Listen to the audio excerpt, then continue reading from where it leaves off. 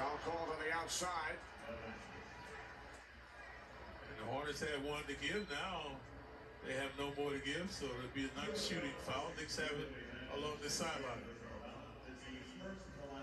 Daniels committing his second.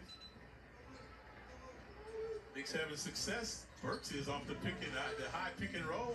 Here it comes now. Noel with the pick. Burks works his way inside. And now the Hornets, trail by two with a minute 20 remaining. McDaniels called for traveling.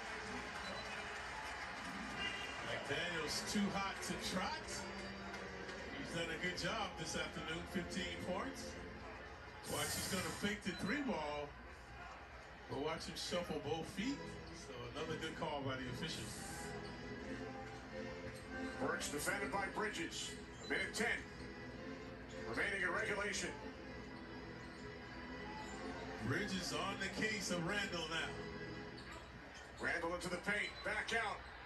Burks from three. Rebounded by Bridges. Yeah, Burks kind of ate him that shot, showing a little pressure. If you're the Knicks, you want to deny the three ball here. Don't foul.